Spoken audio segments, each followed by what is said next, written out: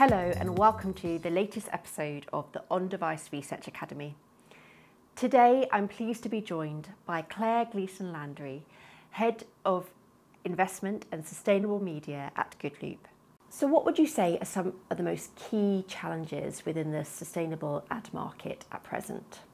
brands being really worried about being accused of greenwashing is is a problem. Um, and as I said, if you do it wholeheartedly and you do, you know, you do these things intentionally, it's unlikely that you're going to get called out for greenwashing. But you have to be really clear on the language that you use, and you have there are there's loads of guidance from the ASA about how to avoid those accusations. All the resources are there.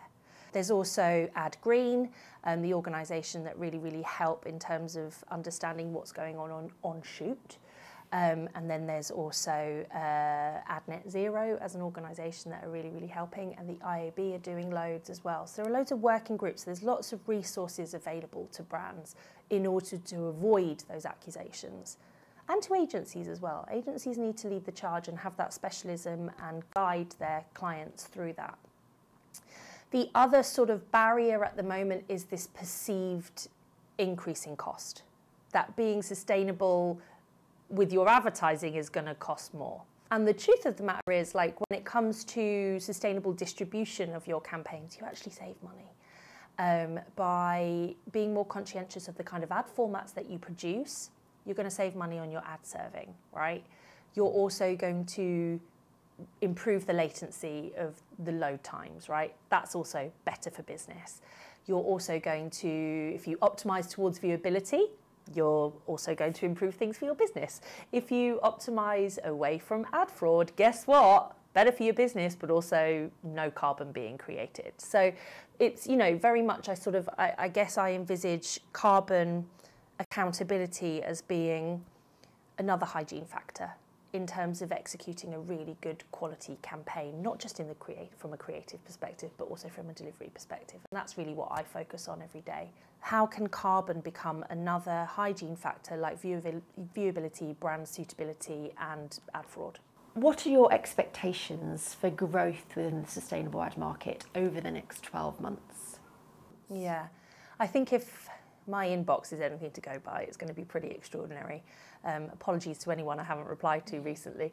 Um, I think if 2022 was like the year of everyone going, oh, we should probably do something about this, um, especially post pandemic. I think the pandemic delayed things slightly, um, but that's understandable. We were pivoting to a massive crisis. I think so. If 2022 was the year of us like really creating headlines about the importance of it, 2023 has probably been the year of experimenting, figuring out what works what works for you as a company.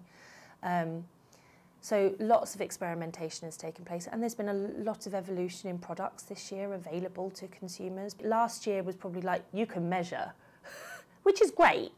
By all means, measure, but when you measure, you set a target, you declare it, then you you know you do the work and then you declare again your results and then you set more targets. That's progress. And so 2022 headline year 2023 experimenting and 2024 i think it's going to be mainstream because so many people are committing to delivering ad net zero by 2030 so we've only got six years to do it um, and um, the pressure's on um, and literally every single advert that's currently being delivered that isn't using sustainability as a key consideration in its delivery or in its production is um, is contributing to the problem. So, yeah, I think 2024 is going to be really, really interesting. And I think if we were to have do similar research next year, the results would be staggering in that respect. I think it's um, it's something that matters to individuals who work in businesses as well.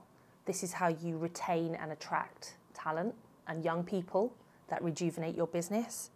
Um, this is what you have to report on more and more. Look what's just happened in California. They now need to report on all scope one, scope two, and scope three emissions, including that from advertising.